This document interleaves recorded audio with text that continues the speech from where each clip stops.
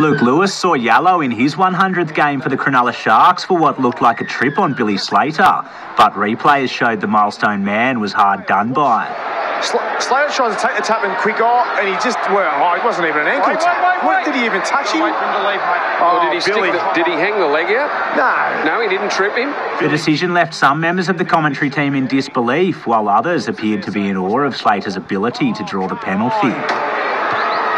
Oh, he's a genius, Billy.